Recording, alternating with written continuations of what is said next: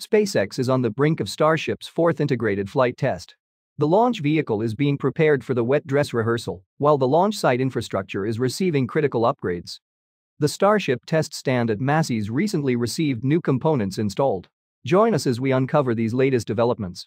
Starship 29 and Super Heavy Booster 11 prototypes, which will be launched on the fourth integrated flight test, are being prepared for the wet dress rehearsal at the build site. Ship 29 is receiving heat tile upgrades inside the high bay. Tiles were removed from several locations, especially those expected to experience the highest vibration during liftoff and maximum re-entry heating. Insights from Flight 3 data likely influence this action. Ship 29 now requires new tiles with improved adhesives to ensure they remain securely attached throughout all phases of Flight 4. Meanwhile, Booster 11 is undergoing thorough inspections, checkouts, and assembly verifications on a processing stand inside the Mega Bay. The hot stage ring installation on the booster is pending. Upon readiness, Ship 29 and Booster 11 will be transported to the launch site for the full-stack wet dress rehearsal. A successful wet dress rehearsal will set the stage for the fourth integrated flight test, currently targeted for May. At the launch site, teams continue repair work on the orbital launch mount and launch tower arms. Extensive welding activity has been observed in recent days. At least 10 booster hold-down clamps were removed from the launch mount, and new ones have been installed. The launch mount comprises 20 hold-down clamps, designed to provide a stable and secure anchoring mechanism for the booster during the initial stages of launch preparation. These clamps are released once the engines ignite and the booster is ready for liftoff. Whether SpaceX will replace the remaining hold-down clamps on the launch mount remains to be seen. The front bore of the booster quick disconnect mechanism, which was removed a week ago, was replaced with a brand new one a few days ago. The quick disconnect mechanism is designed to send propellants, gases, electric power, and communication signals to the booster before liftoff. The mechanism will quickly disconnect and retract from the vehicle just before liftoff, the door is designed to shield the ports on the mechanism from the booster engine plumes. The door might have been damaged during Flight 3, which necessitated a replacement. The newly installed door underwent testing in the past week to ensure functionality. Meanwhile, extensive repairs and upgrades have been underway on the launch tower rocket catching and stacking arms, also known as the chopsticks, for the past two weeks. An actuator was removed from the left arm and replaced with a slightly upgraded version. The left arm was then tested several times to verify the actuator's operations. The right arm's actuator may also be replaced soon. Hydraulic actuators convert hydraulic pressure into mechanical force, or motion. They precisely control the horizontal movement of the launch tower arms, governing their opening and closing actions, crucial for both stacking the launch vehicle on the launch mount and facilitating future booster catching. During the upcoming fourth integrated flight test, Booster 11 will execute a simulated landing in the Gulf of Mexico, maneuvering as if it were aiming to be caught by the launch tower arms. In other words, the booster will act as if there were a virtual tower out in the ocean. If that maneuver is successful, SpaceX intends to attempt catching the booster with the tower arms as early as Flight 5. The ongoing upgrades, including actuator replacement, aim to enhance the speed, precision, and reliability of the tower arms for a successful booster catch in future flight tests. More upgrades to the launch mount and the launch tower can be expected in the coming days.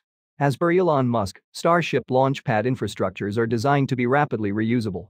Achieving a high frequency of Starship launches in the future depends on the pad's immediate readiness for the next flight, with minimal repairs post-launch. After the first three integrated flight tests, extensive launch pad repairs and upgrades were required. Hopefully, by learning from the upcoming flight tests, SpaceX can make the required adjustments to the launch pad in the future, facilitating rapid reuse. The work to bring the horizontal propellant storage tanks online is progressing at a faster pace. While the eight existing tanks for liquid methane have been in operation for over a year, efforts are now focused on activating the nine newly installed tanks for liquid oxygen and nitrogen storage. Plumbing work is currently underway to connect these tanks to pumps and heat exchangers at the tank farm. Originally, the tank farm consisted of eight vertical tanks for propellant, water, and liquid nitrogen storage. Two of those tanks, which were originally designed to store methane and water, were scrapped in January. As per the latest developments, SpaceX is now preparing to scrap two more tanks. The tanks used for storing water and liquid nitrogen will be the ones that will be decommissioned. Since more vertical tanks are being retired, it can be inferred that the new horizontal tanks will likely become operational within a few months, potentially before the fifth flight test.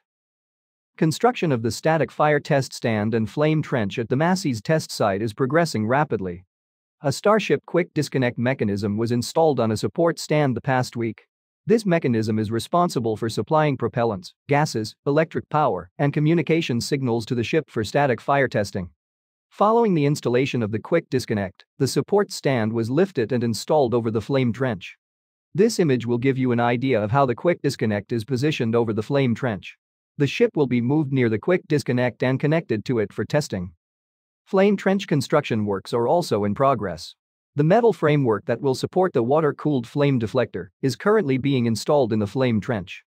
The flame deflector will be constructed by welding these three water channel sections that were already delivered to Massey's a few weeks ago. Once assembled, the deflector will be placed atop the support framework to direct exhaust gases away from the test stand during static fire tests. To shield against the intense heat of the Raptor exhaust plume, water will be sprayed through holes drilled into the deflector, forming a protective layer during testing. This new test stand will allow SpaceX to conduct longer static fire tests compared to those presently performed at the launch site. The data accumulated from such longer and more powerful tests will help SpaceX validate engine performance and system integration, conduct safety checks, and make necessary adjustments before the actual launch. Now, let's discuss some of the latest updates from the world of science and technology. NASA is seeking innovative ideas to reduce costs and shorten the schedule for its Mars sample return program, which has encountered delays due to budget and scheduling issues. The Mars Sample Return Program, a joint effort with the European Space Agency, aims to return samples collected by the Perseverance Mars rover.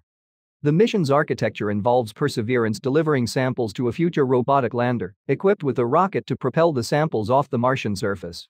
Subsequently, a spacecraft orbiting Mars would capture the sample container and return it safely to Earth. The mission will involve two launches in the early 2030s. One would involve the launch of the sample retrieval lander, carrying the Mars Ascent Vehicle, the rocket that will launch samples off the Red Planet and into space. The other would involve the launch of the European Space Agency's Earth Return Orbiter, which will orbit Mars and wait for the Mars Ascent Vehicle. The mission is estimated to cost between $8 billion and $11 billion, with samples to be returned by 2040. However, this timeline and budget are deemed unacceptable by NASA Administrator Bill Nelson. The bottom line is that $11 billion is too expensive, and not returning samples until 2040 is unacceptably too long. It's the decade of the 2040s that we're going to be landing astronauts on Mars.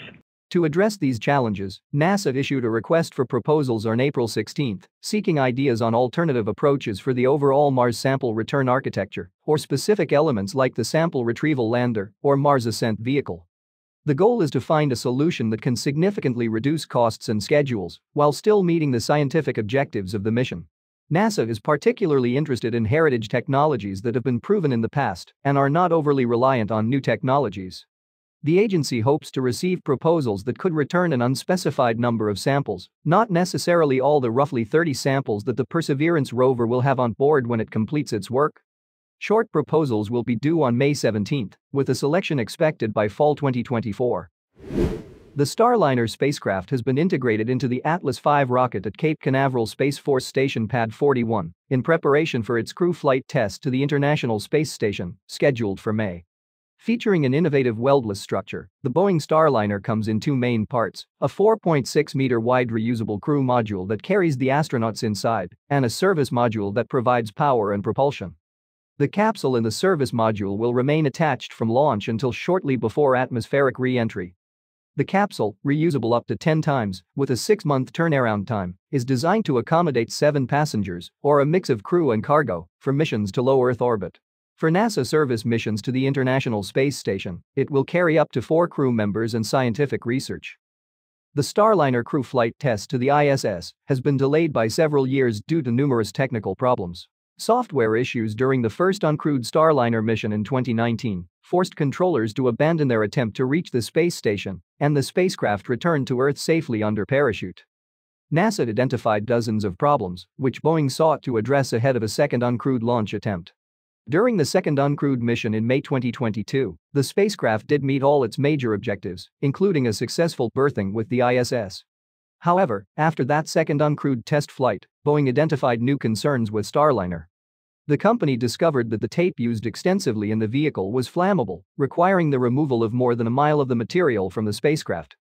Boeing also discovered that part of Starliner's parachute system could not handle the required loads that could occur during off-nominal landings and had to modify the system.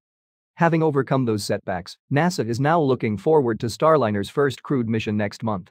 Astronauts Butch Wilmore and Suni Williams will be the first crew members to fly aboard the Starliner. Both of them are veterans of two previous space flights to the space station. They will spend six days aboard the station conducting scientific research before undocking and performing a parachute-assisted landing in New Mexico. Following a successful crew flight test, NASA will begin the final process of certifying the Starliner spacecraft and systems for long-duration crew missions to the space station. Thank you for tuning in for the latest science news and Starship updates. If you enjoyed this video, please hit the like button, leave a comment, and share it with your friends. Also, don't forget to subscribe to the channel and turn on notifications so you never miss an episode.